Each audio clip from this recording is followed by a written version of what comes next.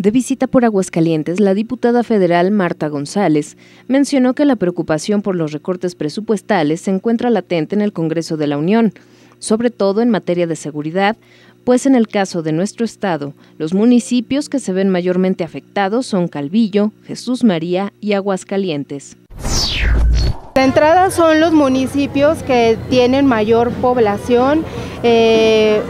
nos estarían atados de mano para cuestiones de equipamiento, para programas preventivos. Eh, vemos que ahorita cómo se ha desatado la inseguridad a nivel nacional. Recalcó que es preocupante esta situación, ya que el recorte presupuestal que llegará a los municipios en materia de seguridad será del 20% agregado al 20% que se recortó en este año,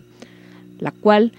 tiene por consecuencia un estado crítico al momento de poder atender las demandas de los ciudadanos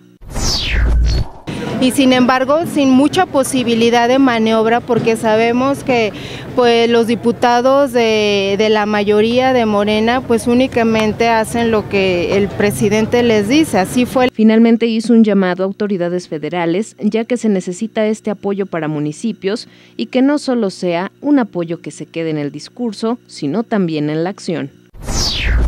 Ahorita es el llamado que hacemos a que haya esa sensibilidad que los municipios y muchos sectores del país ahorita requieren eh, pues de ese apoyo que no nada más en un discurso sino que se vea reflejado realmente en, recursos porque si no de otra manera pues realmente sí eh, habría graves problemas. Con imágenes y edición de Guillermo Luébanos para Informativo y Leana Adame.